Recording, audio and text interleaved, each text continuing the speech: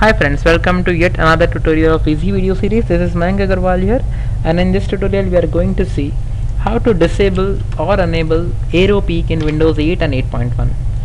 To do this friends, please download a small utility worth 340 KB Ultimate Windows Tweaker. Okay, the two download links are given in my description. You can use either of them, both point to the same file.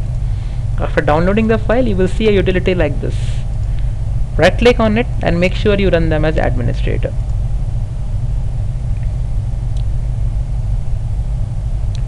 It takes a bit of time to start then come under customization and then under file explorer. So here is a setting that you wish to this. So by default AeroPeek feature is enabled. So when I check this button so now it is disabled. So when I check this button and click on apply the Aero Peek feature will be disabled. In case you wish to enable it, just uncheck this and click on apply. That was enable the Aero Peek feature.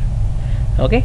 So before applying any tweak, I would recommend you to please create a restore point that in case something untoward happens, you can restore your system back. That's it.